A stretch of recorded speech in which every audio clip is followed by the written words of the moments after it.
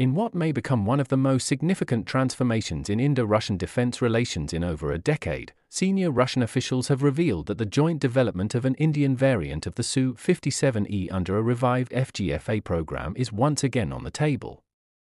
But the proposal goes far beyond merely restarting an old project. Moscow is signaling that this could become the gateway to a much deeper, long term partnership that includes potential co development of sixth generation fighter aircraft, future stealth bombers, and advanced unmanned technologies. If pursued, this could redefine the next generation of India's aerial warfare capabilities. Russian officials have stated that Moscow is ready to take a two track approach to accelerate India's entry into stealth aviation. On one track, Russia is prepared to supply two to three complete squadrons of Su 57E stealth fighters directly off the shelf, giving the Indian Air Force immediate access to fifth generation combat capability. On the other track, Russia is willing to allow the local production of the Su 57E in India, laying the foundation for large scale domestic manufacturing and future upgrades. This dual offer reflects Russia's attempt to strengthen defense industrial ties with India at a time when global defense aviation competition is intensifying, and countries seek reliable long term partners, Moscow has also highlighted that its future aviation roadmap includes multiple advanced programs that go far beyond the Su 57 or Su 75. While Russian officials did not disclose classified details, they confirmed that several global powers are already developing sixth generation fighters, with early prototypes expected around 2035. These aircraft are expected to feature directed energy weapons, AA enabled mission systems, long range sensor fusion, adaptive cycle engines, and seamless manned unmanned teaming. Russia intends to remain a major player in this race and believes India has the technological ambition, financial capacity, and operational experience to become a credible co developer in these future projects. India's earlier withdrawal from the original FGFA program had stemmed from concerns regarding cost escalation, delays in development, and insufficient transparency in stealth and avionics technologies. At that time, India felt the Su 57 design had not matured enough to justify joint investment. But the global and regional security environment has changed considerably.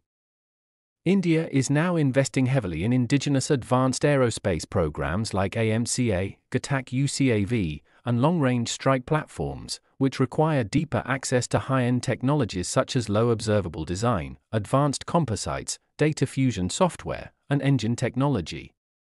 Thus, the renewed FGFA proposal now places much greater emphasis on design participation, intellectual property access, and mission systems development, areas India considers essential for strategic autonomy. If New Delhi decides to approve the Su 57E air based FGFA revival, it could become the backbone for a new wave of co development projects.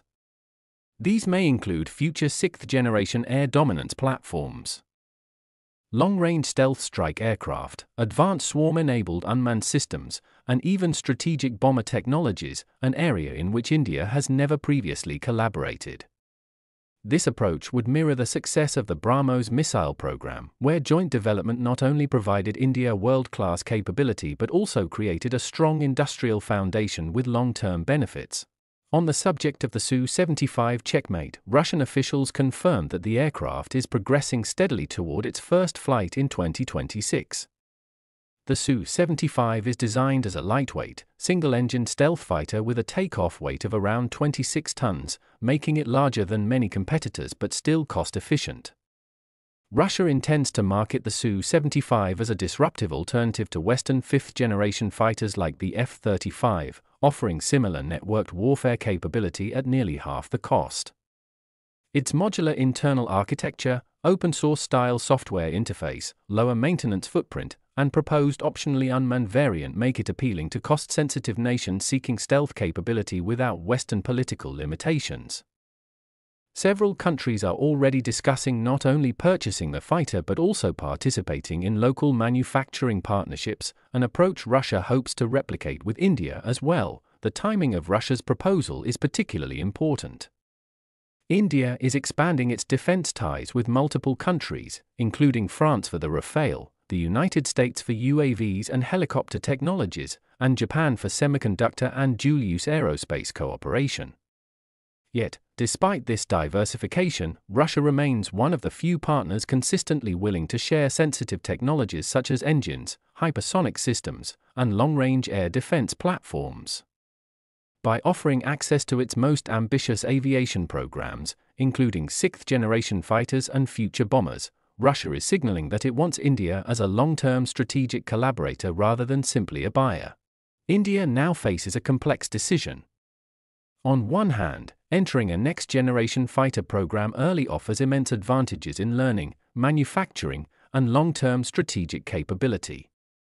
On the other hand, India must balance these opportunities with the realities of budget constraints, parallel indigenous projects like AMCA, and the challenges of integrating foreign technologies with local systems.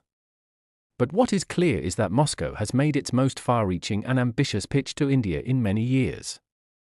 The choices New Delhi makes in the coming months could shape the future of Indo Russian air power cooperation for the next 30 years.